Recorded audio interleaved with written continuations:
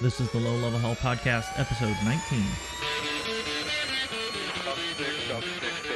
I got your back, man.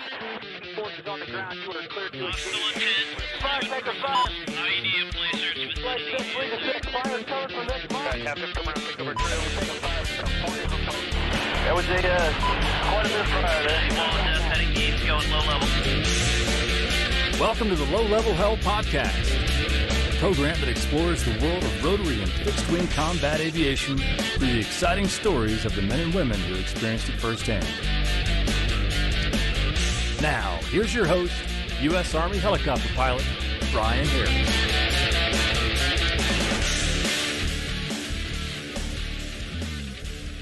Hey guys, Brian here. Welcome back to the show, episode 19. Appreciate you stopping by. Appreciate everyone who leaves a comment and a rating for the show. And of course, a big thank you to all the Patreons. Uh, you guys really keep the lights on here, and I, I'm very thankful for you. Uh, I'm going to be honest, we got a long episode today, so I'm just going to cut right into it. I hope you guys enjoy it, and we'll talk to you soon.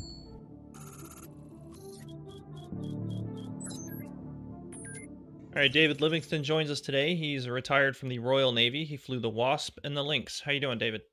Yeah, very well, thanks, Brian, and very uh, very good to be on on the show on the recording here. Um, tell you tell you of my experiences of uh, low level hell, um, because a lot of my life was spent at low level, and some of it was hell.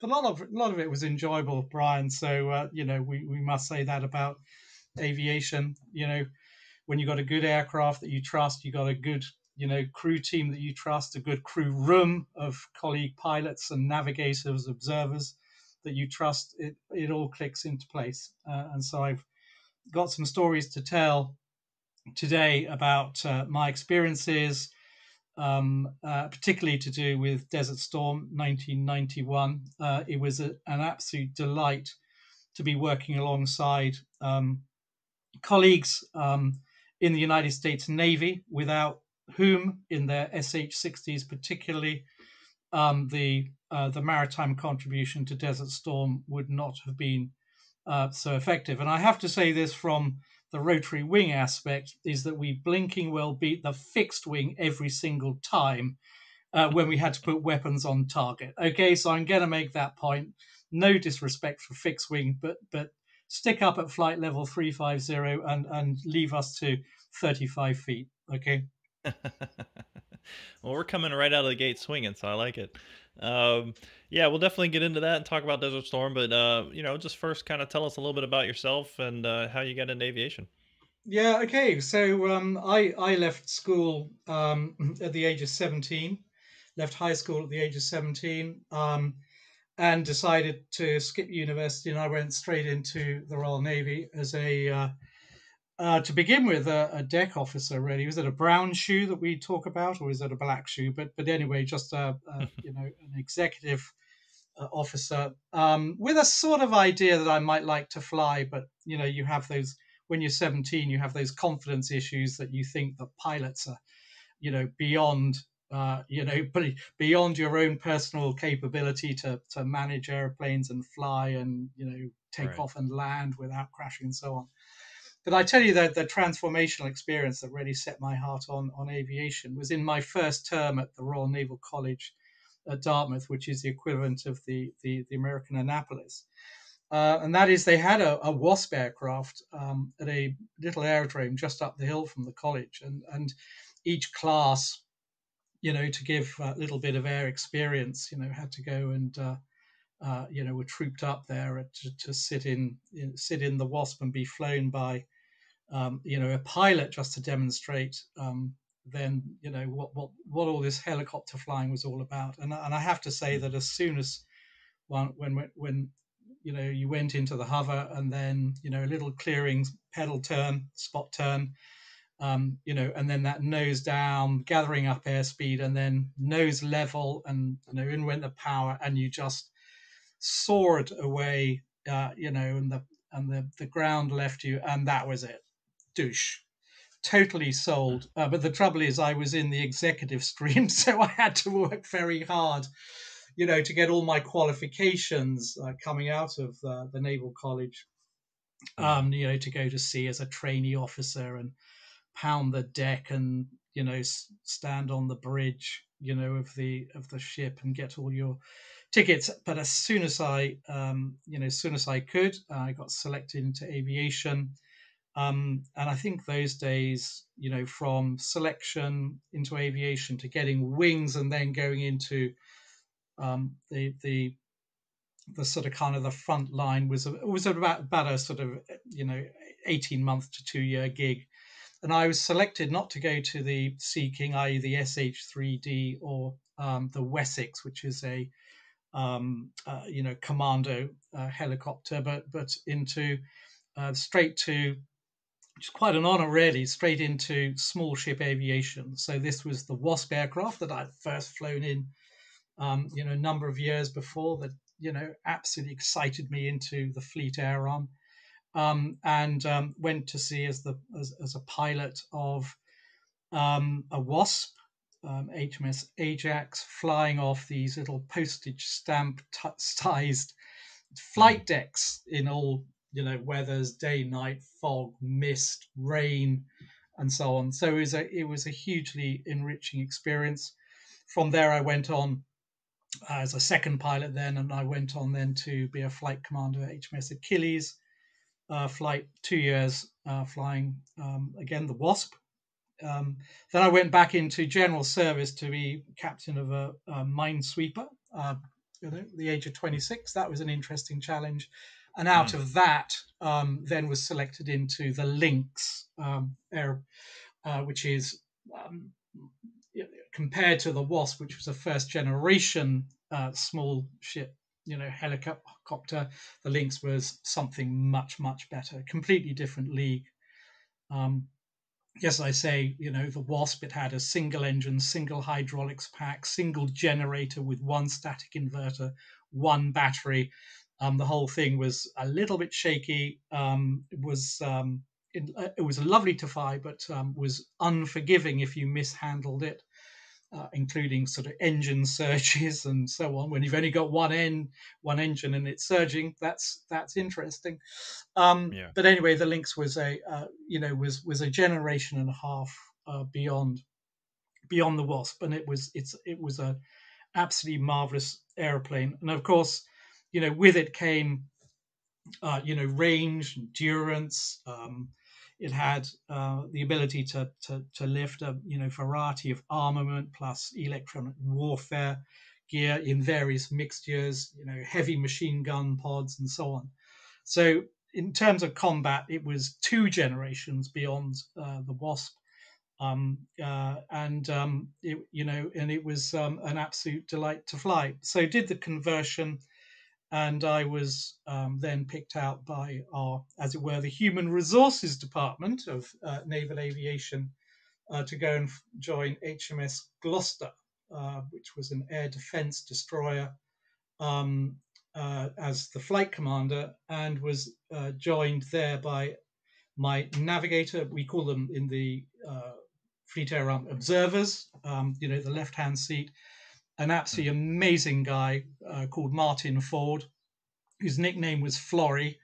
Um, uh, but you know, I met up with a. Um, uh, it's one of those marvelous chances of life when your air crew is to find, um, uh, you know, a crewmate who is, you know, different in terms of outlook, but in terms of how you combine together, mm. in you know how you how you operate, how you think, um, how you almost instinctively understand the workload that the other is going through at various phases of the flight and you're able to you know take some workload off to allow uh, you know we both we had that almost intuitive understanding um, about essentially crew resource management.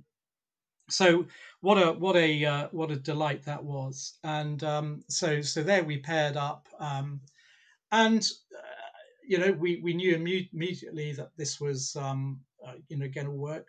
Also, we had um, a, um, a, an extremely good um, flight uh, flight team. You know, the maintainers and also the flight deck officer, um, who uh, you know who became, although comes from the, the you know the general branches.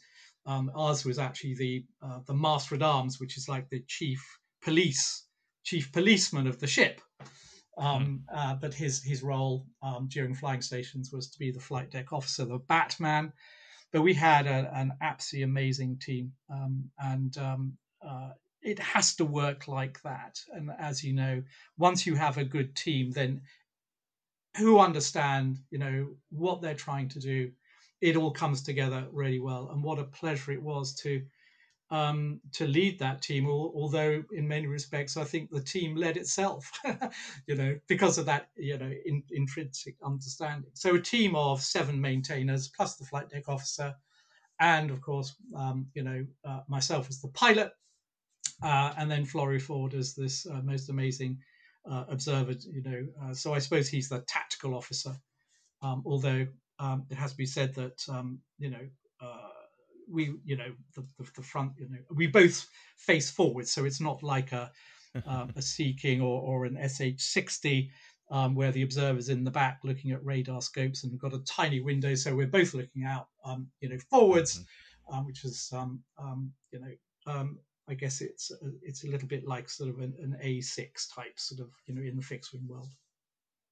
So there we are, and uh, so teamed up, and we were due in the middle, you know, or the the early autumn of 1990 um, to uh, uh, the ship was due to head out towards the Gulf, but you know, going past, you know, into the Gulf and then outwards into um, a wider sort of kind of, as it were, peacetime deployment to go to India and and um, you know Bangladesh, uh, Singapore. It was going to be one of those. Uh, uh, you know, uh, almost like diplomatic type sort of tours, but a, a, couple of visits into the Gulf to, to show you know that we're still around and all that kind of stuff. Particularly after once again, where the United States Navy and the the Royal Navy cooperated, you know, in, in the tanker wars, you know, after mm-hmm. the uh, um, you know, during the Iran Iraq sort of. Um, anyway, so there we are, all sort of kind of getting ready to go,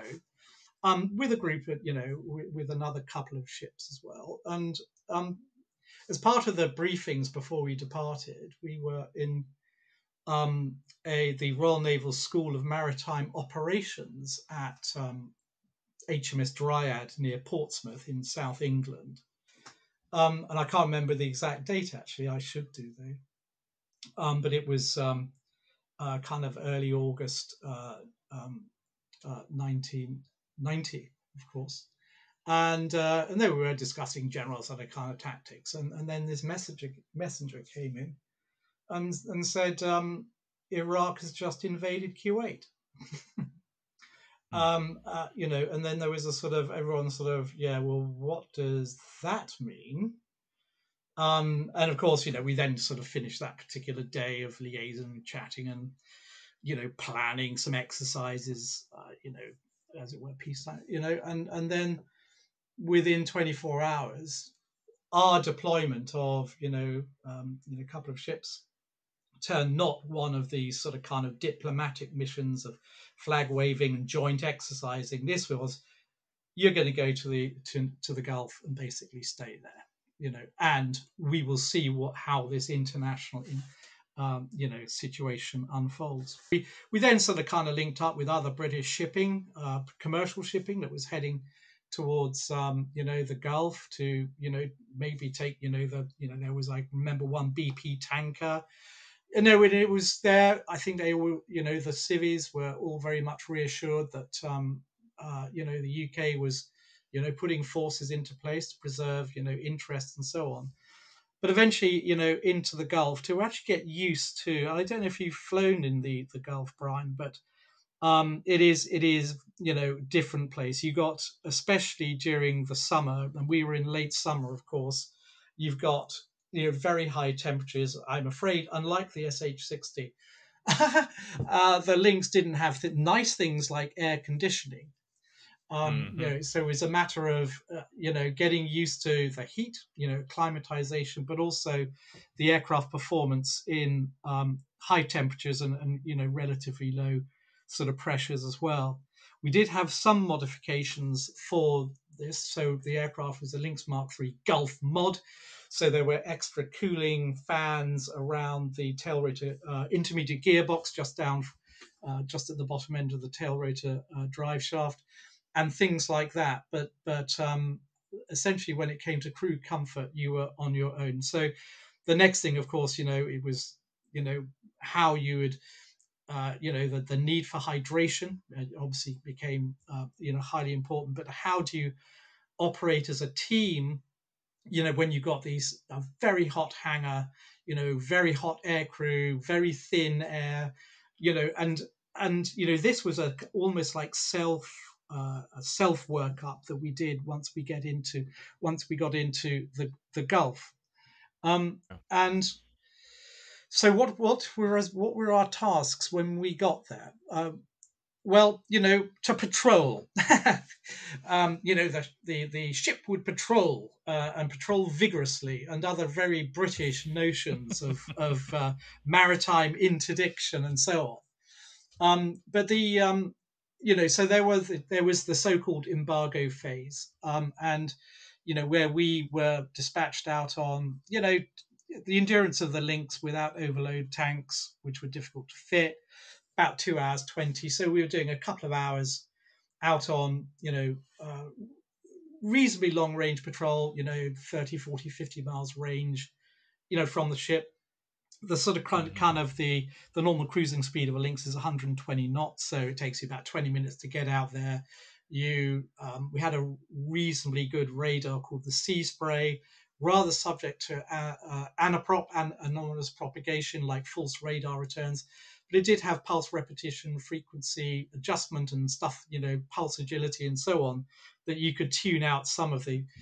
But it was um uh it was a um uh you know okay it was getting used to the tempo and, and of course the the anticipation is rising of course we all listen you know in the evenings to the world service the latest you know diplomatic interventions between you know the United Nations, United States would see how um, you know uh, our you know Prime Minister uh, Margaret Thatcher, but then of course you know John Major, you know we're interacting um, with with uh, George uh, W. Um, um, uh, Mr. You know, Mr. Bush, the you know the president, and so on. You know, and and you're trying to monitor, and of course, you know, and that you know we can all look back in in retrospect and say well you know this was going to be it was always inevitable that this was going to um you know lead into hot conflict but one tried to interpret what the you know the uh, the reporters were saying and the analysis of the media was saying that there's still hope and so on but we actually had a job to do which was to get ready for essentially um, uh, the hot war should it ever ever happen. Now, and this is where um, I think one of I think one of the best things happened during this lead up phase. So I'm thinking now, sort of October November um, of 1990, is that we met up. Um, Florrie, uh, my observer, and I, we met up with some aircrew from USS Bunker Hill, um, which was uh, an Aegis class um, uh, destroyer, you know, you know, funded by uh, funded by the Pentagon. um, it was, uh, and we met the aircrew uh, of the of the Bunker Hill.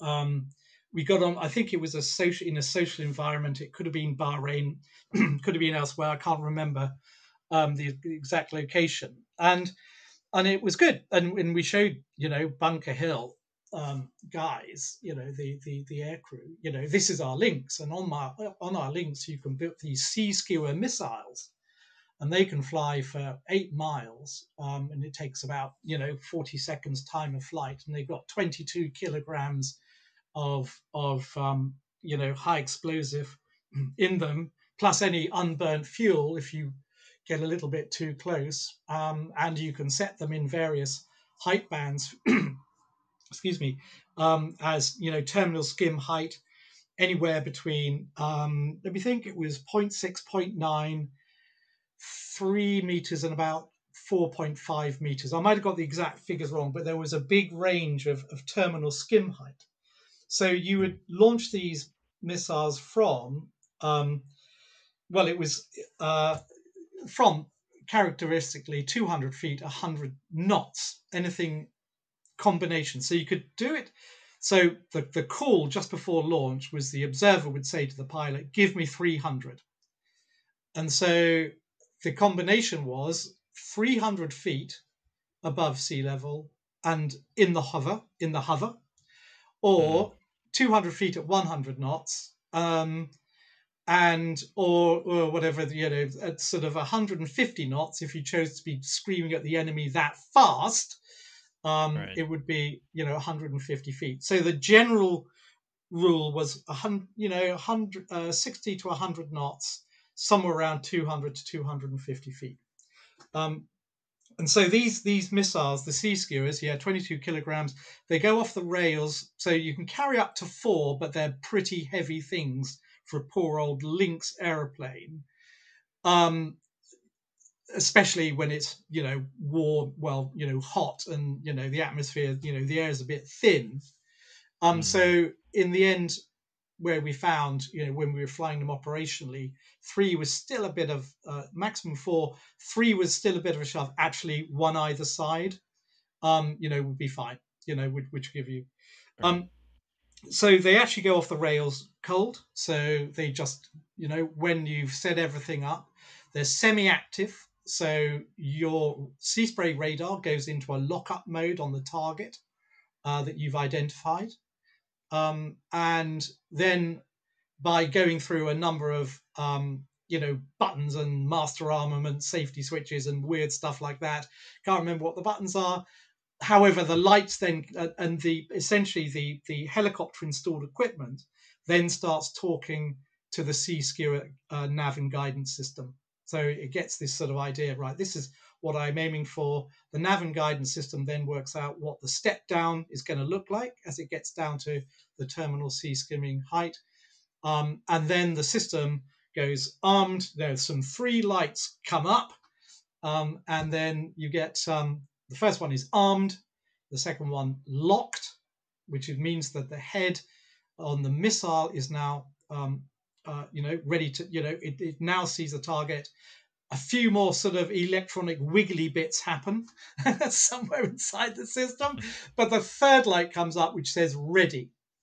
And at that stage uh, you you can then release the release the missile. Um, and that was normally done in, in my case. I, I let uh, Flory do that and with a, a essentially a release a fire button down by his right knee. I have one down my own right knee um, uh, and and the different you know the reason why you have two was actually once upon a time the the the lynx was equipped to carry nuclear weapons of course you had to use the two man rule with one person not being able to press both buttons if you see what i mean so that was the, the order Sure. however so um So I'm looking at So- the picture of this missile, and I can see some pictures of it being fired. So it looks like it it drops off the aircraft about It goes 50 off feet cold. or so, and then that's correct and then the, yeah the motor Yeah. hits. Okay. So what happens is a safety and arming unit lanyard in, in which is plugged into the top of the, the missile is Hmm. is actually then uh, I think we, we all have them in our armed helicopters. Then that lanyard is then um, you know attached to uh, the, the the boom, which is attached of of course to the aircraft. So as as the there and there's another one as well. So you actually have a um, almost like an umbilical, which is one of the um, uh, what we call flight in air material. So an umbilical, which is sending the signals into the missile to say, "Hey, look, look, look! It's over here somewhere." Okay, all that targeting, and then you have the um, safety arming unit, which essentially pulls the pin out the hand grenade, um, and then you have these um, uh, the SAL, which is the safety. Oh, I've just said it, but um, um, safety and armament unit, which which again, you know, so as the missile drops away, comes out of the pins, and all these three lanyards. It's a bit like um, a horizontal. If you've ever seen Apollo 13, where all of that when it launches, all of these umbilicals and things sort of kind of pull away Yeah. from the rocket. That's what happens, um, and there were three of them. Uh, you know, three different sort of umbilicals that pulled out as the so it goes off cold. It drops for 1.2 seconds, and then you get this booster uh, at the back end, um, which then runs. I'm trying to think uh, for a number of seconds. I think it might be eight seconds, and then it, that gets it up to about Mach 0.8, Mach 0.9. and then you have sustainer motors, which are almost like um, almost like little rockets, which which are built into the sides of of um, sides of the Sea Skua. So so that's how it all sort of works, you know, with, with a Sea Skua. Um, and um, well, you know, the interesting thing we talked to Bunker Hill team about was that you know you've got some amazing radar and other gear on your um, helicopter, your ANAPS. I think it's called an ANAPS one two four, APS one two four, low long range, moving moving target designation, all you know, really really good stuff. That was one area where the the Lynx was limited because our radar was forward looking from the nose. Um, essentially it goes to let's say 90 degrees. So it goes 90 degrees left and 90 degrees right back left back right. It's not ground stabilized. So the picture you have that the uh, that the Florey the my observer had is essentially um, well in terms of avionics it, it was pretty primitive stuff um, and mm-hmm. you know, and and then you add in you know all sorts of things like uh, anomalous propagation and interference and stuff. There were some pulse repetition frequency, uh, you know, things that you could do to to make life a little bit better. Um, but then you know, um, but it wasn't it wasn't top level as good as. Um, and so we we uh, we, we sat down, and I think it was probably had to be on our ship uh, because uh, we had beer on our ship, HMS Gloucester, and USS Bunker Hill did not have beer on uh, their ship. so we started, uh, you know, looking, and I wish I could remember the name. I've probably got it in my record somewhere. We, we started kind of mapping out, you know, what would it look like? So what's your range? What's your range? How do you do your attack profile? How can we? So we actually um, together over a few beers, um, normal United Kingdom diplomacy, you always add in a little bit of alcohol to, to make sure the conversation runs on rails. And we came up with this uh, joint concept um, uh, of, right, okay, you're good at that stuff, you SH-60B people, you Seahawk people. We'll, we'll be the weapon carrier. We don't, you can do your, you know, long range radar stuff with your ground stabilization you're not air traffic controllers, but you know you can you can definitely give us the vectors, which we will be able to do totally silently. So so if you were thinking of the opposition, you know you would have this sort of kind of um, uh, you know you you'd be picking up the ANAPS, you know, the the APS one two four, um, you know radar, you know moving around as normal, and then hopefully what the next thing you would get is the Sea Skua in sector mode, which means that Florey, having been handed over the position in relative terms to us in the Lynx, would be was, they you know the idea was the the the the, the um, the SH60B would would say okay um, you know 10 miles to go 8 miles to go six you know on your nose uh, at you know 8 miles at which stage Florey would then go into, you know, from dummy load into transmit, one, two, three, there it is, switch off again. And then the next, and, and mark, you know, the contact. So it correlates with the SH60B. Um, and then the next thing is you you essentially go for give me 300. Mm-hmm. Um, to which you come up, you switch the radar on, sector scan, which is about 15 degrees either side of the nose, or where you've actually pointed the radar. There it is, lock, and then the and then the next thing you go into those three lights, armed, locked, ready, boof.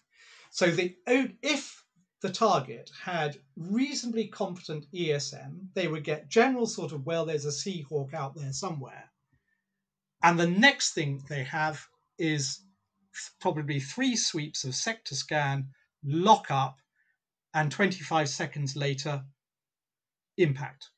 So there was no way to fire that missile. Uh, I don't want to say blind, but essentially you couldn't fire it along a direction, and it had no way to track itself once it was launched. Uh, once it was launched, it had to have some data from the aircraft before it launches. okay, well, this came. Uh, this did actually come to the fore a little bit later on. Okay, so if the missile once launched, and, and I don't think there was a reversionary mode where you could just fire it from the rail like a mm. like a gun. that you know um, almost um, like a you know oh there it is let's fire it because it, it needs the all of the range information and the height information to say okay here's my step down which i need to do Mm. within the range available but what would happen is that once it was in the air and traveling what would happen is if for example the radar lost lock the missile would carry would keep stepping down on the on the profile that was already in the computer and would Hmm. stick on the same bearing Okay.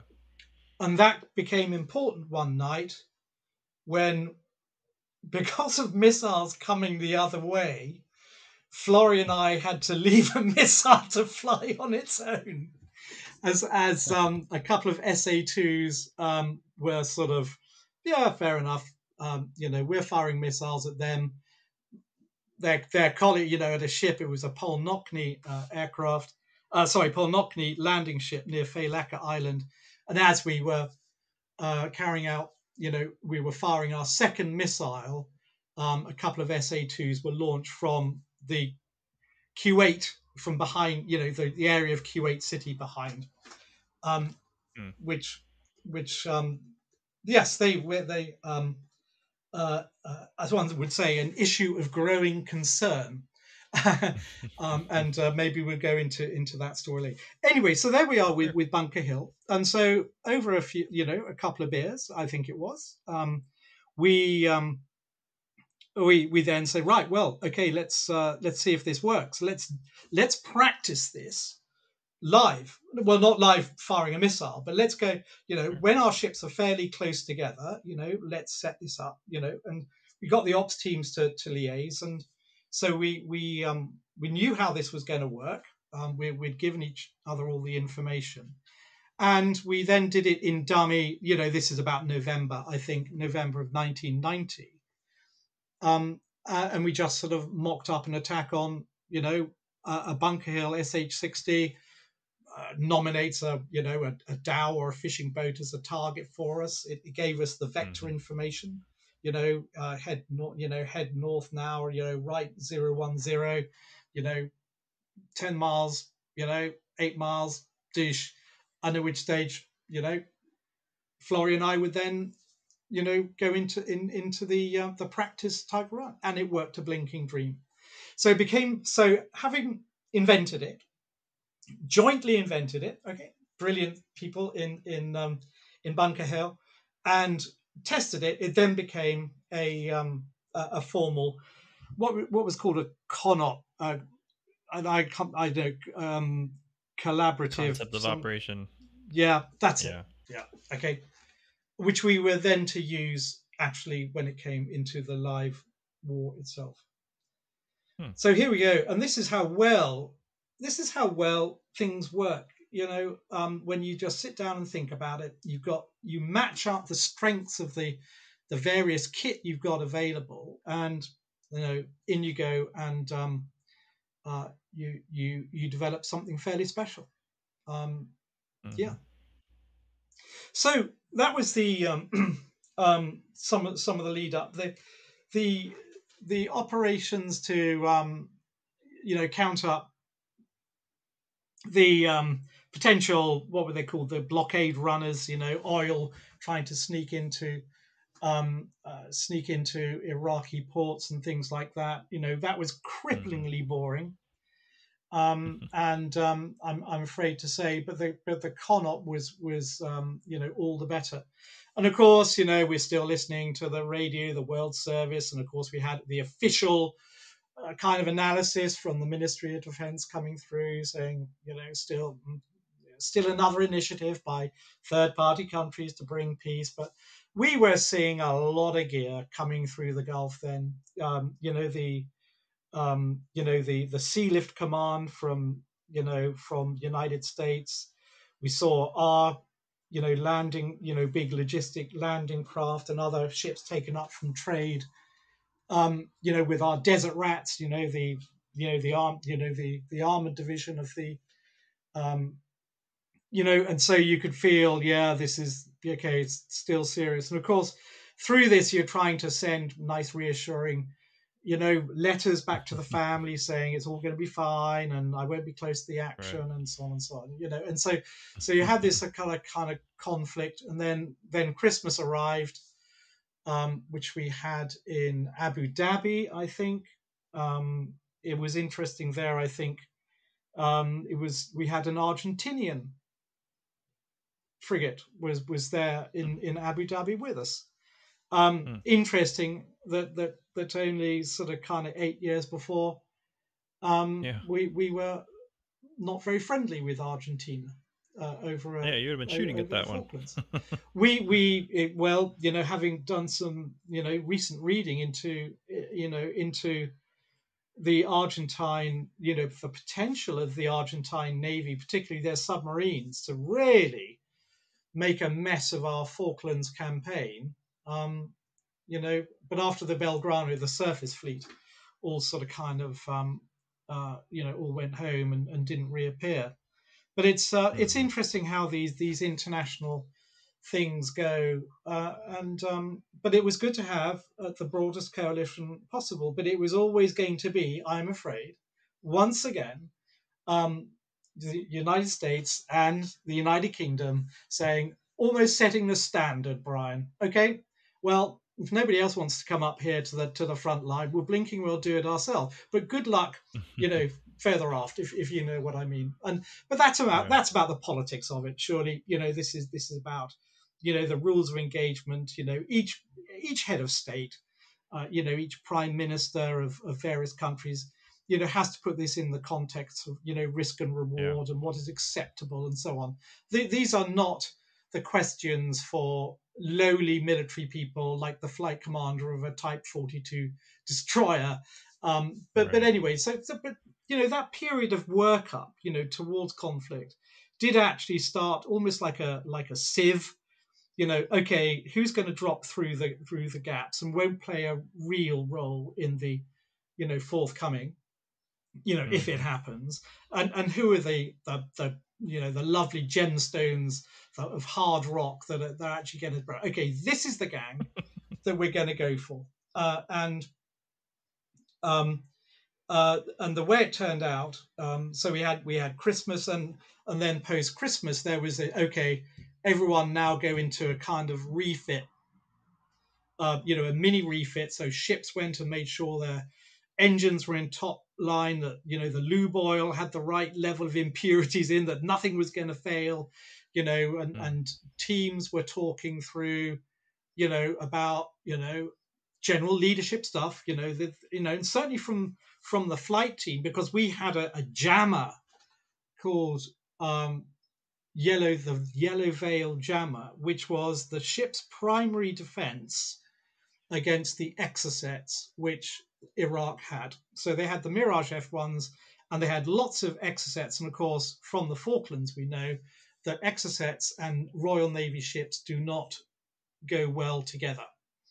Um, but we had this thing called the Yellow Veil Jammer, um, which we would be able, you know, essentially it's, you know, would seduce the Exocet into home on jam, uh, in Exocet cut in, inbound, home on jam, and, you know, you would hover, you know, a few, few hundred yards behind the ship, and then the Exocet would fly underneath you, making sure that there are no other ships downrange of yourself, because that's what happened with uh, the Atlantic conveyor um, in the Falklands War Mhm.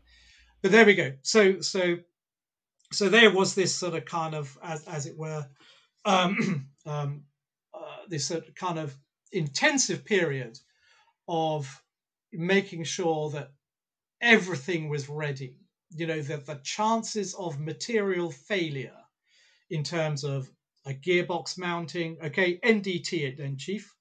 You know, let let's you know let's get the plugs off the gearbox, making sure there's no corrosion underneath those. Whoever put aluminium studs into a maritime naval helicopter gearbox has to be nuts, you know. But but there was a procedure to clean them and then to actually reseal them in a sterile environment and so on. Okay, let, let's go through, you know, let's go through the the weapons, you know, every single weapon, you know, chief elect, um, you know, chief weapon, uh, chief of weapons. Let's go. Let's do a ground test of every single circuit, every every single box that we have to make sure that you know okay, things break down, but let's make sure they're not broken when they put them on the aircraft in the first place. Okay, so so there was this kind of kind of period there, and my team, the team, I'm not going to say my team, it was the team were absolutely magnificent, and the way they applied themselves with long hours and dedication. They knew that we were going to be important down aft, whether it was whether it's jamming an exocet or whether finding uh, you know patrol boats and potentially sinking them you know to do reconnaissance to find mine and so on. Um, and they responded absolutely magnificently to a to a person. Uh, and in those days you know i was going to say to a man these days well in those days sorry and of course it was all male crew uh, certainly in our ship uh, even though later on a type 22 frigate with mixed manning uh, came into theatre um, I think I was HMS Brilliant, but I, I might be wrong on that. But you know, every man, and it's interesting as the pressure comes on, Brian. And I wonder if you recognise this yourself. Is that the the the the the the, the young maintainer, you know, the young sort of kind of equipment technician, who mm. who has always been, you know, in the background a little bit, a little bit quiet, you know, suddenly is the one that almost through personal example sets the standard. Sure. But through the long hours of work and you know, if you say, "Oh God, have we checked this? You know, have we done that? Um, I'll check it again. I think we've done it. I'll check it again." And and I remember, you know, and I'm not going to name any, you know, of the the the betters and the uh, you know the less so good in you know because that would be unfair. But there was this this young lad who worked like a um, oh I I you know I you know I don't know he he was he was just absolutely amazing all you know and what he wanted to do is to make sure his little microcosm his what he was responsible for that he was going to deliver to the helicopter and to Florrie and I in the best possible condition which is absolutely amazing quiet people became forward leaders. Forward leaders, the brash and the mouthy, they became quiet. and everything kind of, and everything kind of balanced out. You know, even even into, you know, so what we had was a phenomenal team, and it it really, you know, and then the you know key. I mean, we had an engine failure, so we had to change an engine, uh, you know, in, in the lead up. You know, it, it was not a it didn't it wasn't in flight, but you know some oil sample wasn't quite right. Change the engine, boof. There it was. Whole team changed the engine, and we did it in something like six hours flat. Normally takes you know half a day, more more sometimes a day. Do you know? And that was what you know. That is what you know. That is what teamwork is all about. And it was you know leadership there, yes, certainly. Um, but but um, there we go. Well, when things get real, you know that people start to step up, and uh, and things things take on a new meaning of, of priority, and, and you know this has to get done. So, yes, yeah, yeah. Um, so I'm just looking at my diary here. Um, oh, I, I've okay. So I'll just pick this out. This is just at random here, uh, Brian. So hmm. This is January the 9th. Um, we await the outcome of the talks. Every ear in the ship listens to the World Service bulletins on the hour. Baker and Aziz are in their session now. It is much better than we thought, as first thoughts were that it would last no more than an hour. I will leave the World Service on and, until I know the result. Um, you know, and by that time, so we, would actually sailed. Um, hang on, uh, we'd actually sailed um, oh wait, yes, I had my anthrax injections uh, on uh, uh, January the fourth. I was very ill after that, but anyway, we we'd, we'd sailed, um, you know, late late uh, December, um, and and then this this was getting kind of more serious um, to, uh, you know, as, as, sort of as uh, so, just so December the 29th an extremely useful morning spent at USS Bunker Hill, working out list, you know, the final parts of the Lynx SH60 uh, tax TACOP, and the result was good. This will be pressed to other uh, pa- passed to other ships in um, uh, in the task group um, and blah blah blah. And so so all it all it went, um, you know, all was going sort of pretty uh, swimmingly, sailing out just after after Christmas. But then the tension beginning to rise and rise, and more shipping coming in, more grey ships delivering more tanks and people, um, and so on. And and I think really by January the tenth, one hoped for the best, um, but um, you really started to think that um, and i i wasn't then a you know an expert in international politics and i think there was a lot of talk in the um, um, a lot of talk in the in the officers mess what we call the wardroom um, about you know where we're all going to go. And there was this i think the anticipation by about um, you know january the 10th had now reached okay this this might turn into something um, but what had happened in that lead up was that you know mines had been found. So we had um, uh, these sort of floating mines in the Gulf, and a few had been found, and so that's where my um, sort of kind of, I guess, the next phase of my flying started. So we'd gone from, um, you know, counting up merchant ships, you know, in the Gulf now to much more about you know kind of mind mind search. And that if you've ever done mind search brian or any of the listeners have have uh, have done it um, you know who might have been maritime pilots it is the most boring i know it's highly important but it's the most boring thing you could ever do. Um, and um, you know just sitting in the hover in front of a battleship or, or something like that as an advanced pair of eyes um, mm. um, you know, of course, by then we had the the Missouri was you know in and in and around town. What an amazing sight an American battleship is.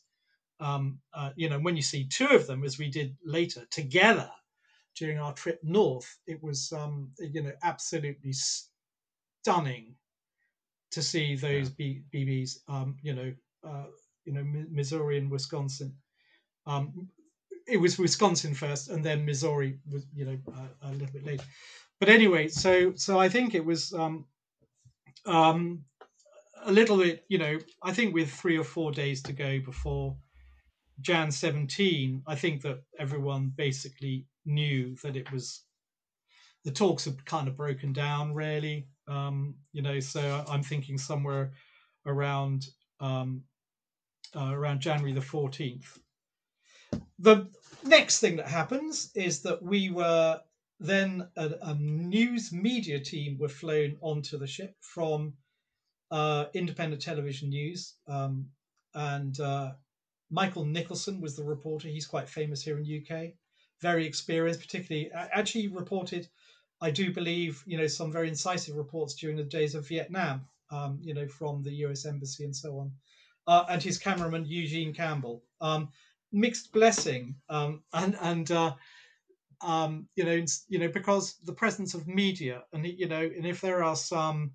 you know p- people still in the services out there listening um, just be and media involved in your become almost intrinsic to your daily day to day operation it's be very circumspect how you how you handle the media and what you volunteer to do and so on um, it's got huge positives, and certainly to project, you know, the image of a of a you know of a, of a service, you know, and the job that you're doing, and, and so on. But sometimes presence of media can can make you almost do things that you are expected to do in order to service the me potential media story.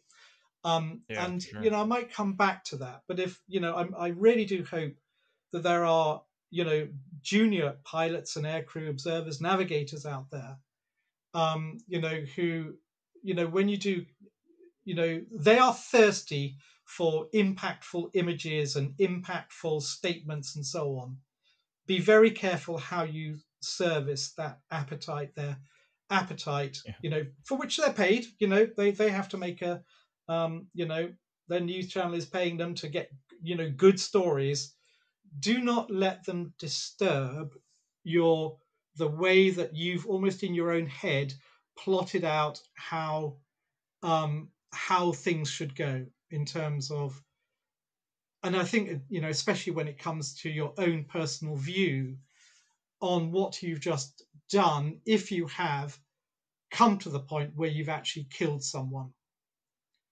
Are you supposed to be jingoistic, saying Yahoo, or are you supposed to be reflective, uh, or indeed a little bit shocked in terms of I've just taken somebody's father away, or somebody's son, or somebody's, you know, wife or daughter, or or whatever, and and I think this is also something that needs to be thought through, maybe before they arrive, or before you even speak to them, and maybe some help there from, you know, service advisors, i.e., in the Navy or Air Force or whatever, advisors on how to handle media and not be ambushed for their thirst for stories. Yeah, well, that certainly becomes a, a training event for people nowadays as they deploy. They, they get a lot of uh, how to how to deal with the media. I wish I'd had that, Brian, um, because because in the a lot of it, a lot of the engagement with media, especially with the cameraman, was was hugely positive. It has to be said. He flew with us quite regularly, even in battle conditions. Um, you know, he actually spotted a couple of mines himself, which was which was really good. But actually, even when we started our missile attacks in the North Gulf, um, Eugene Campbell came with us, and he, you know, um, he was a valued member of the crew when he flew with us, um, passing us, you know, lemons, lemon sodas through from the back of the aircraft from the cool box. um, no, but more than that, a very, very good, good, um, very good pair of eyes. But there is the other imperative here, which is a positive projection on how professional, and I, I'm sure your last point about you know training, you know now it seems to be a lot more of a mature aspect is positive aspects of how to project the values of modern service life and servicemen and women's commitment you know to defend the principles and the rights of people you know the values of their country and so on. And there is no better way than, than actually projecting those through these wonderful ambassadors we got and we got thousands of them and they're called servicemen and servicewomen. Um, so so that shouldn't be understated but i think the way that one reacts with the media should almost be a, a you know like an it's an individual analysis that each person should make. And i and i think and well I, I will go through it now but when i came back from the first successful attack of the uh, that Florian and I did against a T43 and a TNC 45, and, and these were this was an attack on um, January the 30th, um, way north of the ship, and I'll come back to how we operated in a minute. Is we rejoined the Gloucester, and of course, there waiting was you know the cameraman um, saying, you know, how, you know, landed on, douche, shut down. I was desperate for a cigarette. Um, um, and then the um, the cameraman, you know, did did his bit, you know, and, and said, well, how how does that feel? The actual Mm. answer I should have given is the one how I actually felt, which is absolute, you know, I absolutely don't know. I really do not know. After all of that anticipation, an unsuccessful attack the day before, you know, reducing confidence in our weapon system, and you know, well, it was a sort of unsuccessful attack. Well, we can go into that later. But then you have this this thing about you know, but then you just feel as though you should be, yeah, we, you know, it's good to see the missiles go and and things like that and that was a front. It was a almost like a, a, a you know some kind of victory front, you know, to say "pow, we got them" and all of that kind of stuff to inspire people. Actually, I don't think I knew how I felt at all. No, it's true. That's a Yeah. lot of a lot of emotions that you're going through, and if you've had no experience with it, you know, it's kind of you know a tough situation when somebody asks you that because it's one of those things again that you're not really prepared to to discuss. You need some time to kind of think about it and reflect, and Yeah, like and may, you just a maybe cigarette. Yeah. yeah well you know um, but but the you know maybe it's one of the things maybe they do because brian you said that you know they you now get media training for a lot of people is is you know some of the context of that is you know try and work out you know you are going to feel something really different when you have come to the point in life when you have taken other life.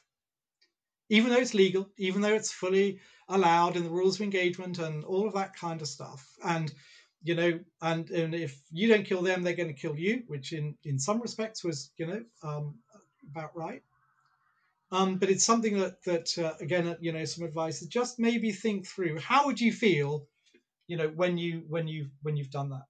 Just so you're armed for the time when it has happened and you actually say yeah actually i, I think this aligns with my expectations and so on. But anyway so I, I spent a, a, bit of time i guess on on the morals but we must come to january the 17th we got this tactical cooperation working with with the sh60s and then of course the talks all breaking down and you know da da da da. And it was um late in late in the evening um of jan 17 um oh sorry no it was late in the evening Jan, january the 16th and, and of course here we go normal time zone problems. Okay so so on january the 17th and um maybe i'll read my diary entry on the outbreak of war.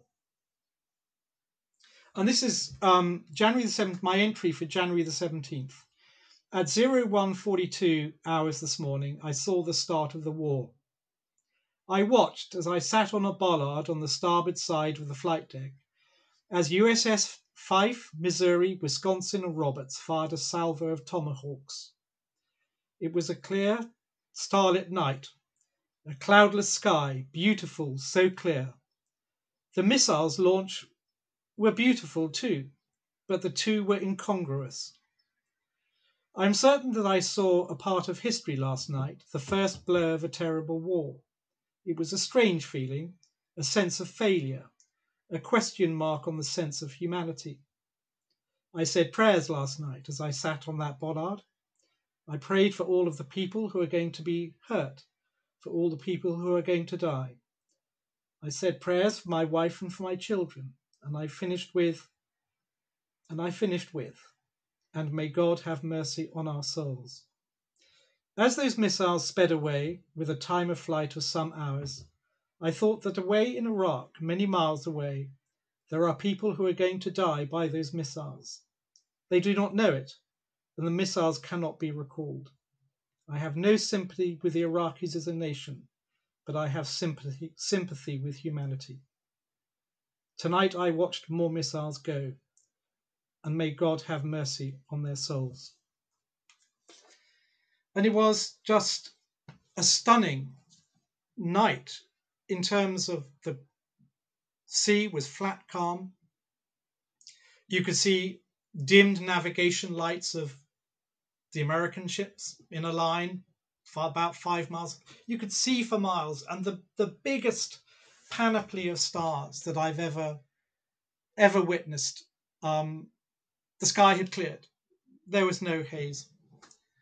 Um, and these missiles then firing off into so you see that the booster rocket of the of the of the tomahawk you know the uh, land attack missile you know as they you know light up the local um, the vicinity of the firing ship. Of course, in those days, UK didn't have tomahawks, so um, and then speeding away, and then another one, and then another one from further down the line, and you know, and so on, and and then over the top were the squadrons of the fixed wing um, with their navigation lights as they went over the top of us and at that stage we were somewhere around 120 miles south in the Gulf, south of the line of Kuwait City, so essentially just north of Bahrain.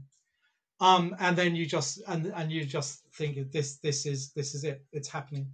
Can't be recalled now, and um, uh, this is the war starting, and I'm going to have a role in it. But and here was the point. To begin with, Florian and I and the other Lynx aircrew from HMS Cardiff, who were on the other side of this cordon, for the first couple of days, um, we were um, tasked with nothing more than mine search. And here we have this potentially highly armed, fairly long range, you know, um, you know, thing. We've practiced with the SS, USS Bunker Hill, and you know, with a tactical, um, uh, you know, uh, a, you know, CONOP uh, that you know has worked in practice, and we were still doing blinking mind search.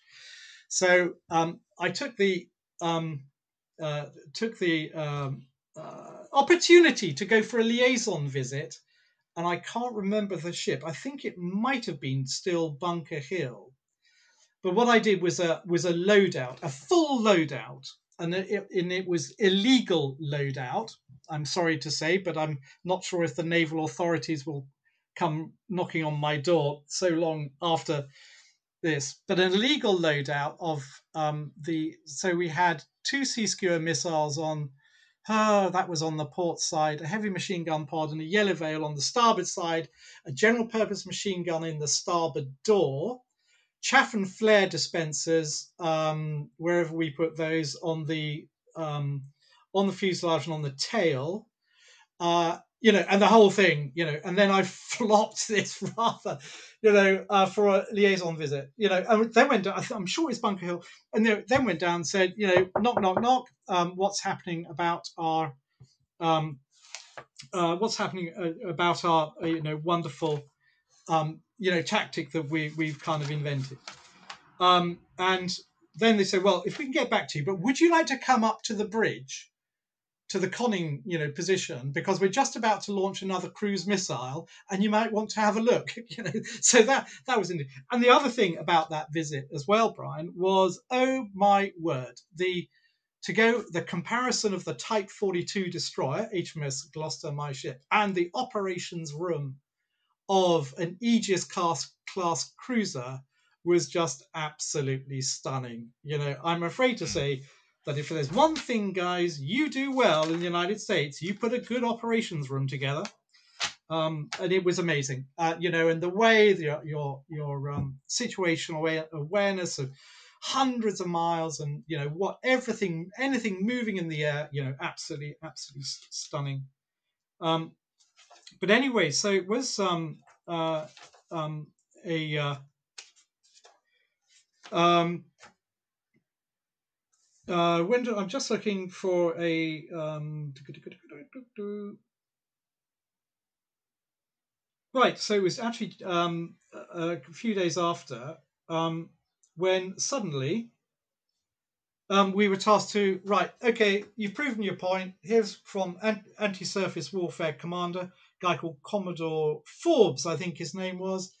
Um, you know, to Gloucester. Okay, off you go then. Uh, load up and go for a patrol. And while you're up north, do you know we've got some interesting frigates and and um, I'm going to try and remember Leftwich, Nicholas, and Curts, who were the combat search and rescue frigates, who are kind of, um, you know, in in the northern oil rigs, you know, uh, and they were there to drag out any pilots uh, that that sort of kind of came fixed wing pilots that, that sort of um, you know, evaded, and their their first thing get over the North Persian Gulf because we got some people come and pick you up.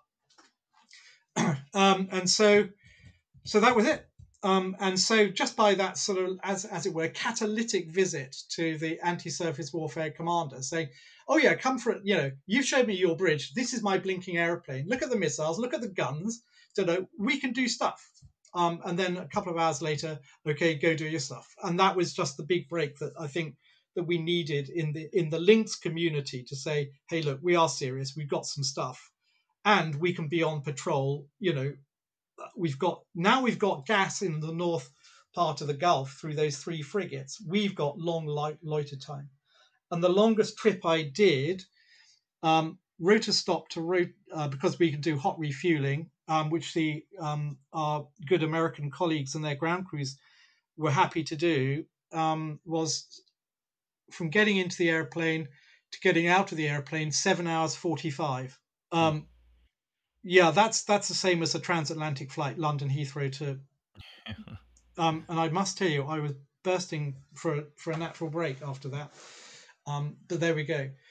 Um, so, so you know, Brian. So, so we we we'd broken the mold, and and then the Lynx, very often working with the SH-60 and with the combat search and rescue frigates north, providing us gas, you know, to remain on to remain on task, uh, worked worked really really well. Uh, and and we did these missions time and time again. Um, you know, nothing nothing there. A few kind of int- in, interesting things. I remember on the first day, actually back to mine mine search day, um, is Florrie and I were transiting back from a, a logistics run to another uh, Royal Navy ship. We actually had an Arab dhow surrender to us. Yes, I'm not quite sure how we escort them into harbour, uh, but there we go. But it was it was all amazing stuff, new experiences going on you know, and a lot of this, you know, the other the other stuff was, you know, getting used to the the weather in the north, part, you know, part of the Gulf, a lot of haze and so on. Um, and nothing happened. You know, lots of aggressive patrolling, getting into a routine, servicing, you know, an extra Lynx coming up from the second echelon through the Gloucester, and then to follow us up, trying to get a Ripple three going, where we'd have a link somewhere around the North Gulf during daylight hours um, you know, throughout. But anyway, nothing happened until then. Um, all of a sudden, this is where the big breakout happened, and the, the Battle of Bubiyan kicked off by the the the, the incursion, the Iraqi incursion um, at Khafji on the 29th of January, when there was a convoy of a, I think 17 ships that that suddenly sprung out of the the ports like Ashwaiba port on the you know um, on the east coast of Kuwait, and, and they were doing this like little not quite sure what it was there for, but this little firefight down in Al Khafji, um, you know, and and there, um, and working with Brazen Flight, who was staging through the, the Gloucester, um, we, we came into our first Sea Skua action by um, uh, against a, a, line of relatively small boats, and they were nothing more than boats, um, 17 of them, and uh, Brazen and I uh, both in turn had a go at one of the bigger ones, and Brazen's missile went, um, I'm afraid, did not function properly, and mine ditched um, just a, probably a few yards just in front of the target, which was about halfway down the queue, as it were. And, and I think what happened, and I set it on the lowest setting, um, and I think probably of, of about three feet uh, skim height, and I think it probably hit the wake of a preceding boat, but enough and close hmm. enough probably to have create, uh, created shrapnel damage to, to, to the target. But there was a disappointment that it hadn't actually worked. The next day, I think, uh, uh um, uh, you know, January 30th was the opening of the of the the big day of you know the, the Battle of Bubiyan, which I think people say really was the January the 30th and 31st, starting with a an engagement by the uh, by the HMS Cardiff Lynx uh, up north. Unfortunately, I was in the middle of a, a very brief um, uh, a very brief uh, maintenance routine on my gearbox, which delayed our launch because it was. I thought, oh my god, you know, here here they go. Luckily, that delay then meant that Florrie and I um, didn't get up to um, didn't get up um, to um, the north, and I'm just sorry, there's a just a reference I need um, until a little bit later on in the morning. Um, and um, uh, and we we were sort of um, we were we were slightly sort of uh, not vexed or angry, but you know somebody somebody got the uh, um, um, so this was um, uh, on the thirtieth, and I'm trying to at eleven twenty in the morning. Um, when we Florrie on his radar again, working, you know, visibility not very good, working hard against uh, anaprop and stuff like that. You know, said, "Oh, I think I've got something." It was something that was in addition to the the one good thing that we could was with our previous patrolling very close to Iraqi and Kuwaiti shore we really built up a really good knowledge about what the environment looked like, where the rigs were, where the line of buoys were, where the Sea Island terminal, where the tankers used to take on, where they all were. And it would almost, you know, when something was not right, it stood out very well. And Florrie hmm. said, There's something coming, you know, there's something strange here. So so we kind of, you know, sneaked into this new contact, which he he'd identified um, I say this was kind of um, you know what was it? It was uh, eleven twenty in the morning on the thirtieth, um, and um, so we sort we sort of piled in there, um, you know, to, to have a look. I suppose the you know the the visibility where you could actually you know make out things was probably three to four miles, and in front of us there was this this boat, and it was a um, uh, a T T forty three minesweeper, mine hunter. This is what the Iraqis have been using for laying mines, not sweeping them, unfortunately. Um, and um, so we got the you know we we got the flash flash flash. This is four one zero. That's the aircraft side number. You know, hostile this this position. Request weapons free because our rules of engagement were then still you know weapons tight or you know weapons tight, which means you have to get authority from you know the Mhm. the surface warfare commander purely because you know to reduce the the um the possibility of blue on blue and so on and and so you know while we got the while Florrie got you know I got the aircraft back out to you know that comfortable firing range of about six miles, and um, then um, the um, then it came through, um, uh, which was um, uh, you know you have you have weapons free that target, um, and sorry just uh, and the so we uh, then sort of kind of turned in, uh, got everything all sort of kind of locked up. You know, there we go. There, that that's what the target was, um, and it was okay.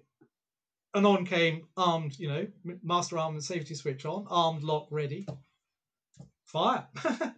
uh, you know, Mhm. and Florrie fired the missile. There's this kind of half a second wait as everything sort of kind of and then the, a little shake of the of the backside as the thing falls off the pylon. You know, the aircraft rocks Mhm. side to side, and then this you know whooshing sound.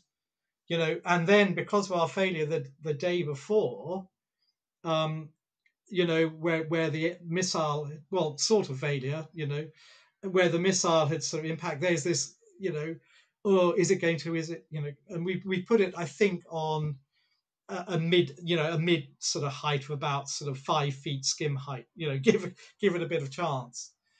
And the problem about that is is as the missile went off the launcher and we saw it head off with its booster rocket in that fir- uh, it was going in the wrong direction.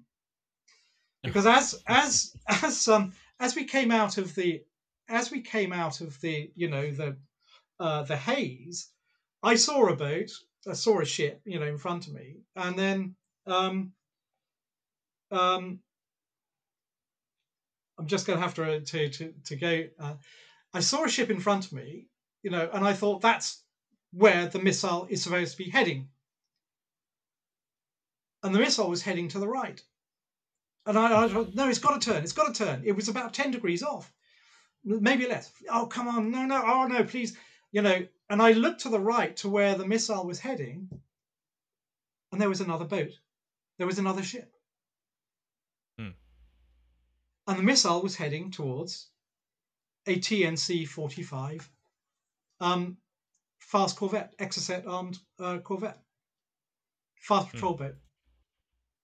It wasn't one target; it was two, and and Florrie had just locked up on the most obvious blip, I guess, and the missile then went off to um, uh, uh, hit the TNC 45, and then we got a you know flash flash. We have the second a second target request weapons free that came very very quickly, um, and then um, you know round we went. And within and I'm just looking at the timings here four minutes we had hit two major surface units of uh, the um, of the Iraqi Navy, or you know, some uh, the TNC 45 was ex-Kuwaiti Navy, uh, which were being sort of pirated by the Iraqi Navy.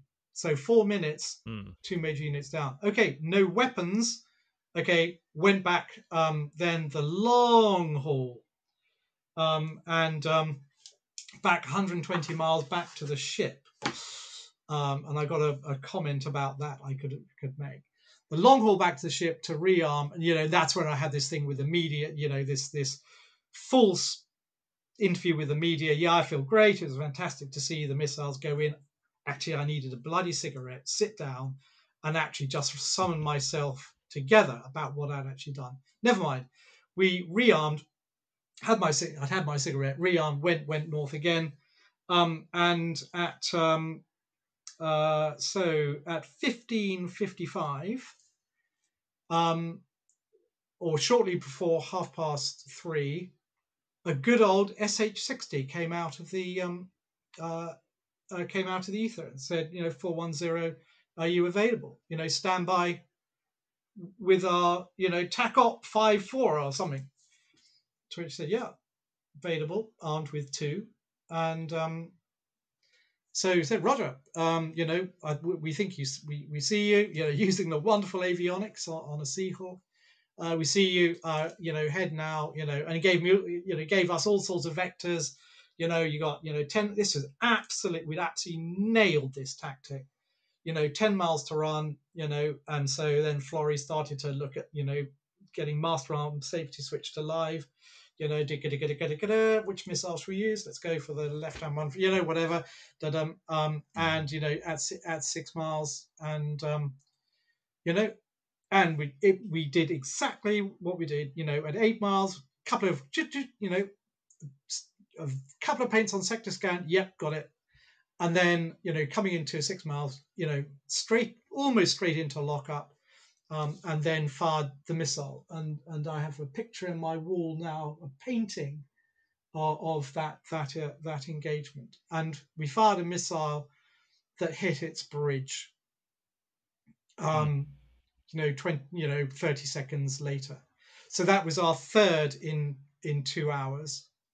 And then there's one of these things here, um, Brian, and it's about the morality. And there's something I did then that that I reflect upon to this day. I fired one of the two missiles, and basically it blew the front of the bridge away. That TNC 45, because that's what it was, was as a fighting entity finished. You know, mm-hmm. um, the bridge had gone. Well, what's behind a bridge? Normally the operations room or very close to it. It was gone what I decided to do then was to go round and hit it again. Hmm. And I do not know why I made that decision. Because I there was a possibility we still had one missile that there could be other ships out there. You know, maybe the Osa, the, the one Osa class fast patrol boat, ex you know, Russian design that you know one of these ships did escape into Iranian hands at the end of the day, and I and I still do not know why I chose to reattack when, in essence, that patrol boat as a fighting entity was done. Well, I think that happens a lot. I think I think engagements. Yeah. Okay, but well, the second natural yeah, the second the second missile, and and here we have you know something, you know, which, which is I, I don't know how how this story. The second missile went into the dar- didn't go as you know to the bridge. It went into the direct midships for you know direct midships. So halfway down the boat, the ship or corvette or whatever you like to call it. And the second missile, and we saw it black, you know, with a black splodge, you know, and you know, Bruiser, that's the name for a you know air to surface missile. Bruiser hit, you know, which we radioed in. Um, now, a few years later, I and as I say, the T, TNC 45s were were stolen from the the um, Kuwaitis. I went to Kuwait on on a uh, on a diplomatic mission a few years later, um, and there was still some TN, the TNC 45s you know, some of them had not been harmed during the war, but actually come back. And I went for a, a visit into the TN into a TNC 45. People had known what I'd done, and I'd say, "Oh, let's see it from the other end." Now, the, the place where that second missile hit was the dining hall area. And you know, here's the here's the next thing. When your ship goes to emergency stations, now, okay, I'm saying a trained ship here, not one manned by a hodgepodge of people, not very professional, which is probably right. People assemble, um, you know, in specific areas to do things like you know break out firefighting gear and stuff like that. The the general area Mhm. that you go uh, is you know normally somewhere like a junior rates dining hall, like a like the ship's dining hall. And then we come back to this this moral thing of the ship was a spent force. The second may well have impacted an area where people had gathered in order to save themselves. And that's a difficult one. I, I would love, I mean, Brian, you know, I would love challenges via your website or any comments, you know, you know, how other how, how other people may, may feel in that same situation. If you think I'm wrong, um, and, and if you think I'm taking an over moralistic attitude, I've got no apologies. But it's just that's where some of these in, sort of incidents leave you. Yes. So Sure.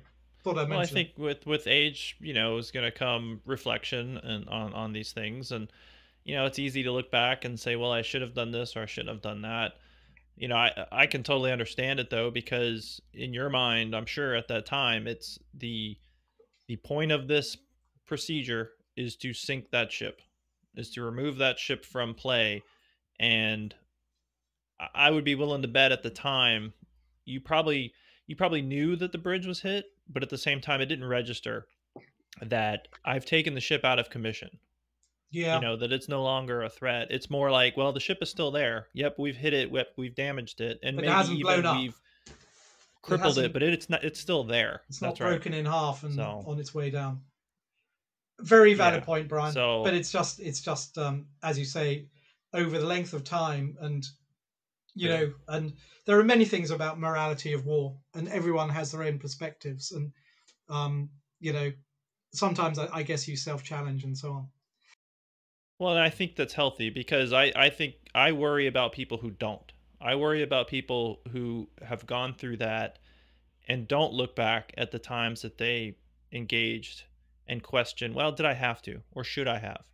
You know, because because I know people that they're they're completely guilt free about everything that they ever did. I I wish I could feel the same. Like, you know, you still look back and say, well, maybe that one I shouldn't have done it or maybe I could have done it differently or or you know just like you're saying did i do more than i needed to um so i you know i think that's healthy i think that that at least demonstrates that um you didn't lose your humanity to it right which i think what i think some people can Yeah. Yes, that's the that's that's the conflict. You know, the the the the, the thing about war is is it's it's it is very human based. You're trying to kill people. But anyway, the next day, January the thirty first, um, was um, the second day essentially of the Battle of Bubiyan. In my you know how I see the Battle of Bubiyan. Um, and uh, Florian and I were airborne once more. And then a sort of call came in through HF radio from our ship. You know, um, we were just doing our normal, you know, search and attack sort of kind of profile. And uh, call came in uh, from our ship, 120 miles away, saying, uh, you know, 410 standby retask. Uh, Roger. Um, uh, request nature retask. Combat search and rescue. Ah, now this is for something uh, to which um, um, the first thing Florian I thought was overland combat search and rescue. Like there's a down pilot somewhere, mm-hmm. and we've got to go and sneak in and you know go and you know lift up someone who's popping smoke and some stuff. Never done that before, but anyway, adaptability is the key to air power. We know this, uh, Brian. Um, and so um, this was combat search, and and the thing was overnight, some survivors of the ships that had been sunk on the day before, and HMS Cardiff similarly had successes against other ships as well. Some of these survivors got into kind of life rafts and, and floated down to a uh, an oil terminal, you know, out at sea, one of these big sort of frameworks which tankers come more alongside and they pump oil on board. Um, and these Iraqis have been found on this, uh, you know, sea sea terminal. Um, and we had to provide anti-surface, uh, you know, well, cover uh, because there was some SH, is it Sea Kings SH3Ds um, Mhm. from the combat search and rescue frigates, and they just needed a, almost like a shotgun just to be in the in the area. So you know, but these were our friends. You know, we've worked with them before. This was fine.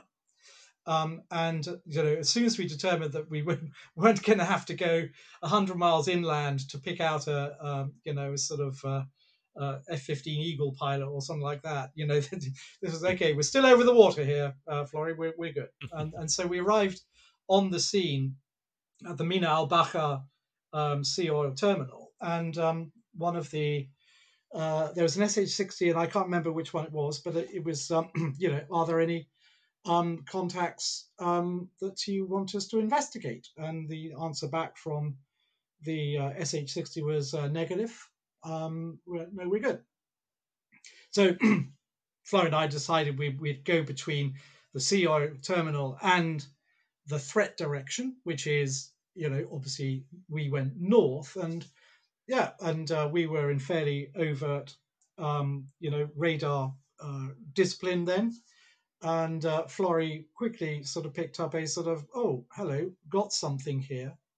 And got the sort of confirmation there were, well there are no friendly units in the area and we can't see any threats anyway so we we headed up towards and out of the gloom again visibility not very good as we were we you know closing in on the target it was another tnc 45 and it was underway and so we we called you know we called it straight away to the on scene commander and said you know flash flash flash um, you know, TNC 45.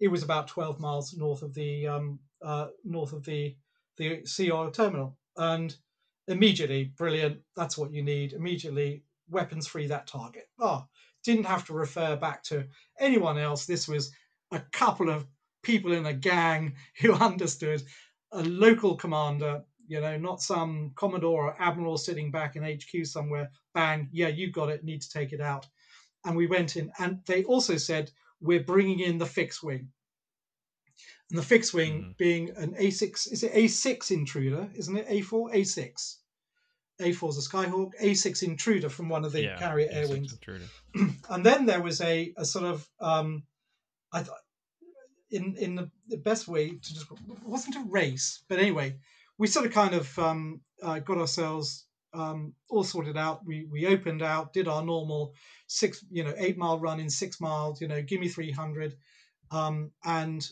um we d- didn't see the first missile go in but then Mhm. we turned back again. We we had two missiles still, so we we we set up a profile for the second, and we delivered. And the, we saw the missile hit the ship with a you know the the black thing just as the A6 was going overhead doing its targeting run.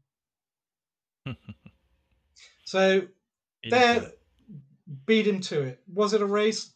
Well, in the end, it shows you how on scene rotary can really, really actually get its act together quite quickly. Um, you know, so uh, and I and I understand that he then went back to um, essentially finish the job with a, a few sort of Rockeye, whatever they're called, BLU twenty fours or something.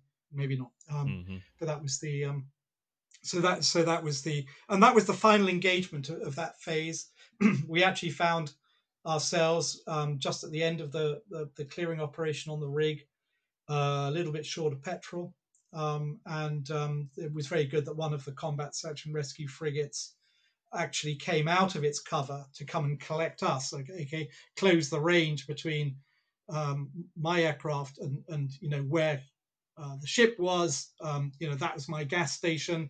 A little bit low, low on petrol, and it was really good to see um, uh, the the them break break cover. So so I think you know. So this was the um, um, everything un- unfolding. Um, uh, it was essentially the end of of the um, uh, the um, the Battle of Bubiyan. I think that engagement. There were others. Um, it didn't go all one way, and uh, there was there is there's an online resource that pretends to recount you know various you know maritime battles. Um, I'm not going to name it because everyone will then Google it, but they got most of it wrong.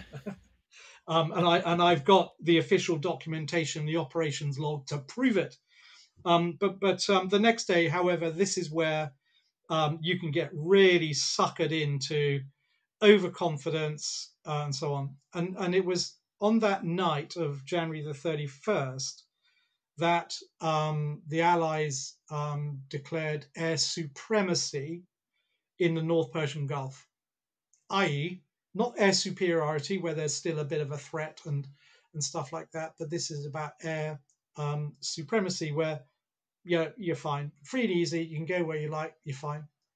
Um, the next uh, day, uh, February the first, um, was a um, uh, and I found ourselves in the North Gulf. I think our second sortie of the day um, in the Northern Gulf, um, having fueled up again from from very kind United States Navy assets, and we were heading, uh, you know, towards the scene of action of of the previous two days. The sun was getting fairly low in the sky, so it was sort of late afternoon to the west, and um, uh, I said to, to you know, almost like a you know official. Okay, we're getting into uh, enemy territory here. Um, uh, enhance our lookout. You know, okay, it was a little bit of a you know, and of course you know that we have our standard lookout. You know that the pilot in the right hand side will look straight forward, then sweep through the horizon to to the right, and then over the top. You know that's the standard lookout. So so rather jokingly, I commenced our, you know, as it were, out of ground school, out of flight school lookout. And as I swept through over the canopy, uh, you know, over the top went a whole bunch of rockets. And I then jerked my head to the right, and there was all this splashing in the sea and some black smoke and stuff like that. And, you know, we'd been bounced from our left hand side out of the setting sun. Florrie couldn't see a thing and so, of course, the first thing is whack straight into you. You comb, as you know, you comb the line of fire. Okay, so you're pointing directly into where the rockets came from, and we could not see a thing uh, because of the blinding, you know, the, the sunshine.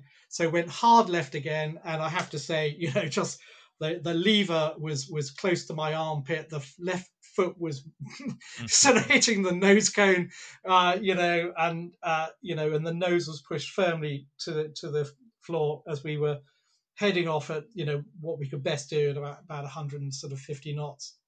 Um, I, I completely forgot to dump the missiles because that would have made us go even faster.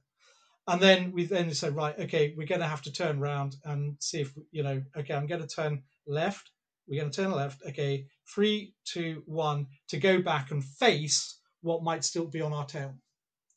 So three, two, one, and boof, nothing there. Hmm. Hadn't got a clue. Um, you know, and you know, again, the visibility wasn't very good, and and all of that kind of you know stuff. Um, and um, total mystery. And I thought it was a blue on blue. Uh, quite hmm. honestly, I thought you know, there's some well-meaning F-18 Hornet, you know, from United States, um, Canada. Who you know, we had a lot of people on CAP those days. You know, um, uh, you know, and I thought, well, there we go. So we got back and reported it, um, and it was really good because in that area, the, the CAP was actually provided by um, naval fixed wing operating from carriers. My understanding is that every aircraft that landed uh, back off CAP back on the carrier had a full audit of ammunition and whether the guns had been fired, hmm. which is good. Nobody had fired anything. And the next day, an F 14 Tomcat shot down a Hind helicopter, an Iraqi Hind helicopter, in exactly the same place as we had our incident at the same time the day, day before. Hmm. Sneaky. So, yes, sneaky and and it was totally wrong to say air air supremacy uh, in my view. Yeah. Um. Yeah. Well, they always like to. They forget about the helicopters. You know, they just focus on their their jets. Yeah, we. You know, and you're you're absolutely right, actually, Brian. And you know the the way that um, uh, you know, sometimes you know the, the rotary wing are a little bit of a Cinderella squadron these days. I guess everyone looks at the you know the um, uh, you know, uh, you know, wonderful, you know, shipborne aviation. Lovely to see, by the way, that HMS Queen Elizabeth um, is now on deployment with her um, um, uh, with her aircraft group, which of which um, ten out of the eighteen fixed wing are provided by the United States. So the spirit, the spirit lives on. But anyway, so I, I think that's. Um, um, I'll just tell you one final story because I think we've we we've run um, sort of uh, you know way way over time. But um, the the um, essentially you know in in advance of the um, uh, the ground assault on Kuwait, um, you know once again um, you know amazing US UK you know collaboration there you know and, and others of course. Um, um, but um, that there was the big convoy heading north which was just amazing to see. Um, two battleships Mm. line line ahead. Is that that's just amazing. The Missouri and the Wisconsin, um, whole load of frigates, the minesweepers, the um, uh, the sort of the LPHs and so on. Big convoy, you know, and we basically did the same gig again of, uh, you know, search and you know attack missions. Um, you know, but this time there wasn't the huge transit times of getting down 120 miles to the anti-air warfare, warfare barrier. So that, that was you know pretty cool. But a call later late at night. Um, uh, it's about two, two o'clock in the morning. On um, I will have to sort of consult the date, but um, we're we're now in sort of uh, heading towards the um, uh, end of uh, uh, towards. Oh, it was February the 16th. I just turned it up here in my diary. Um, um, yes, uh, the diary entry runs. I made Saddam waste two SA 2 missiles early this morning.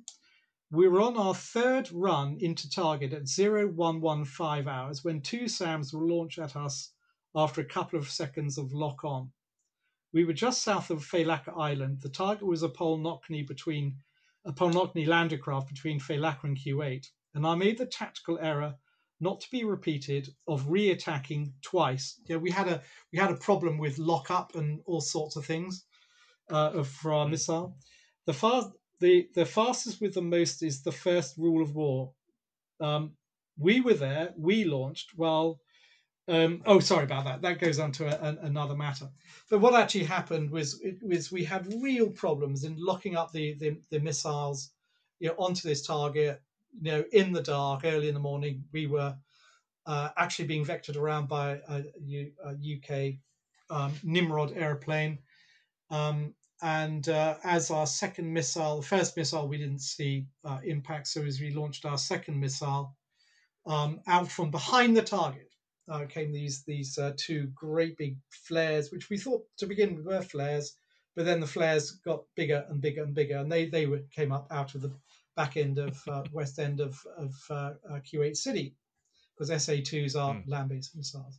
So there was a sort of right, okay, time to forget our second missile. Of course, we did, you know, this should have been training together.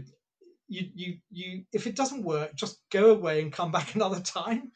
you know, don't don't re-attack. I, how many pilots have been shot down re-attacking because the first one screwed up? I don't know Oh, um, yeah. but lots, lots. But anyway, so these SA2s. So, so the so the first thing we did essentially was forget the missile which was in the air at the time, turn towards the Failaka Island where there was a brigade of Iraqis, uh, land troops, um, and start put out chaff and flares. Um, and all the Iraqis saw that, so they they fired triple started firing triple A uh, in in volumes at the general direction of us, but we were pretty well out of range uh, of just sort of um, you know machine gun bullets and half inch Brownings and things like that, you know, um, and even shoulder launch wouldn't, you know, I think we're still right, you know. And Florrie was, you know, uh, you know, he said still tracking. And when I was heading in towards the first attack, and also as we were being very helpfully, uh, um, you know, illuminated by the Iraqi, gave us a horizon you know, to, to fly by. But then the second turn, when Florrie said they're still tracking, I said, you know, I decided to do another 90 degree turn and turned into complete darkness. So I'd gone from at a height of maybe 300 feet. Um, I then turned into complete darkness, 300 feet visual to IMC, into into the gloop, um, the the darkness, and of course, the, you know, there was, oh, got to get on instruments here, and the instruments all seemed to be in the wrong order because there's also a, a, couple of SA2s coming up. If you when you're on instrument flight training, Brian, um, when they say right, you know, get onto when you, you're now IMC, get onto instruments, and you work out, you know, do they ever say? And just imagine you've got two SA2 missiles up up your tailpipe. Right. You know, the answer is no, no, they don't, because you think you're mad. Yeah, but anyway, 200 feet above the water and 200 feet yeah. in the dark, you know, and and you know you and you know you're still trying to put out chaff and flares and weird stuff, you know, and and you know, and I was in, I guess you would say, an unknown position, a UP, you know, and I was trying to work out, and of course you should go straight to artificial horizon, of course, and, and so on, and then this mm-hmm. tiny little bug light came on in the top right hand of the cockpit um, and the, the bug light was actually the low level light on the radar altimeter, which you can set to any pre selected height. And mine was selected for 30 feet. And the bug light came on, and I saw it. And I just basically pulled into pulled in the power, you know, just pulled the collective as a fi- you know, I didn't know whether it was to cushion the impact. Then got a, a, a look at the artificial horizon, which was about 10 degrees starboard down and not bad, not far off level. And I reckon I probably missed the feet, uh, missed the water by 10 feet. And you guys weren't flying with goggles, right? No. Oh, goggles. Yeah. Um, got, there were some goggles around, but in those days in maritime, they were they were for um, commando pilots, you know, for for landing marines and so on. Uh, they had been used in the Falklands War, um, but then um, uh, no, we didn't, but they do now. The, they do these days, you know, which is sure. obviously a lot better. But um, there was the um, uh, there was that that incident. Um, I have a I have an uncle who was killed in the Second World War. He was in the Coastal Command, um, and um, he did 30 missions off the coast of Norway, flying the Beaufort. Um, uh, and I, I've always hailed this guy as my hero for some unknown reason or some intrinsic reason which I which I don't understand. Um, there is something in me that says that it was my uncle Duncan that tapped me on the shoulder and drew my attention to that little bug light on the top right hand corner of the instrument panel. Yeah. yeah. But that was um, you know essentially the the you know the the, the last lot. Uh, I, I just say you know um, as we are sort of drawing, you know, towards the end, that that time in the north part of the Gulf, you know, when we were getting ready for amphibious operations and all of that kind of stuff, you know, again, wonderful um, collaboration with uh, Kiowas and SH60s and um, uh, Sea Venoms. Are they called Sea Venoms? The um, AH1Ds. Um, uh, yeah, I think sea cobra. yeah, they call sea cobra. the venoms. Sea, yeah. sea cobras or Cobras something like that. Venoms, yeah. yeah. Still, you know, I mean, it, it was being, but by that time, all those oil, oil wells were on fire. There was no wind. At midday, you would look up, and in this darkness, you could just about discern the faint orb of the sun, and you and you everything stank of this blinking oil, and you would sort of kind of say, you know, that is a um, you know it's almost the end of the world. This is a this is like a dying planet. Um, you know in that mm. filthy oil which is the oil in the air the oil in the water. Um, but still we kept to the task. Divers went diving. Mine clearance divers went diving in that stuff. I don't know how they did it.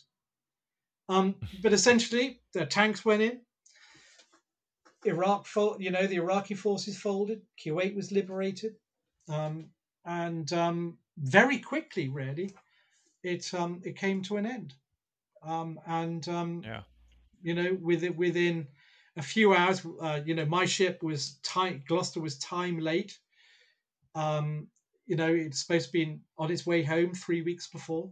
Um, you know, so little delay. So we went down to um, uh, Dubai, I think it was Dubai, and um, you know went alongside, you know, uh, to pick up the gear which we'd had to land. All our personal gear had to be landed prior to the war, uh, just so it would reduce the the Ministry of Defence's um, liability to to give me back my sort of um, clarinet and trumpet or whatever. Uh, you know, certainly clarinet. Um, you know, and um, uh, and that was you know when you know we were able to ring up our nearest and dearest back at home. You know, absolutely fantastic, amazing, um, and um, and and then um, after a couple of nights of rather heavy partying, it has to be said, um, it was time to go home.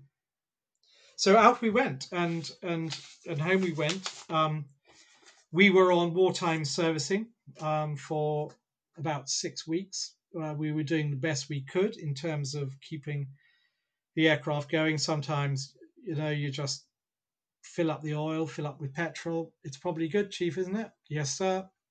Yes, boss.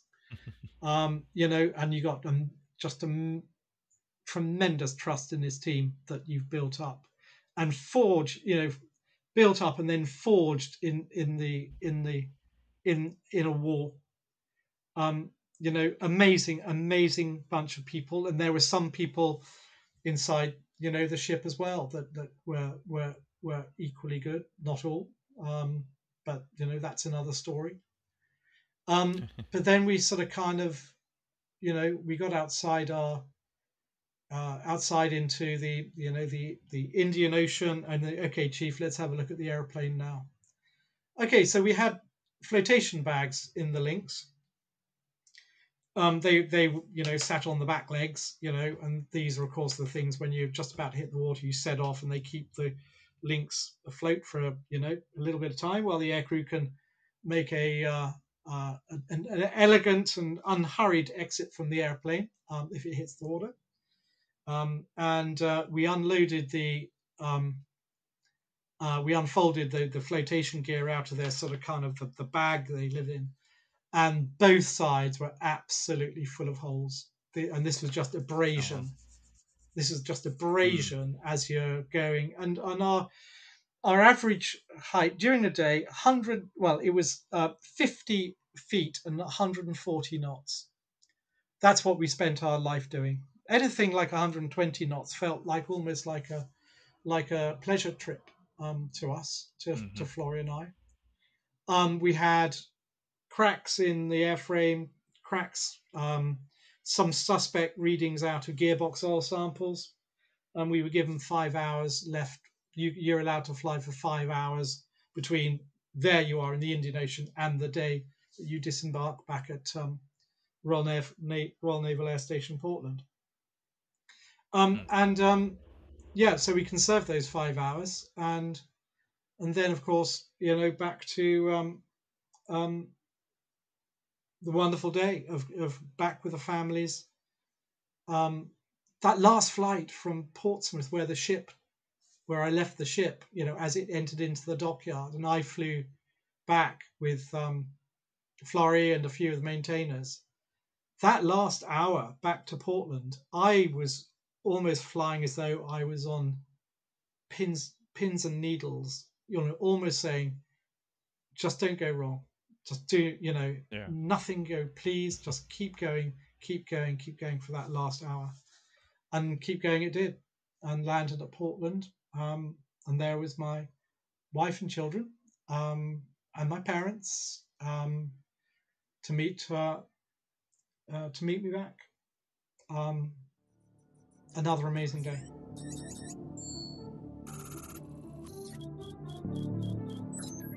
Well, I want to say thanks again to David for coming on to the show and telling us about his experiences in Desert Storm and all the uh, interesting details about the Lynx and weapon systems.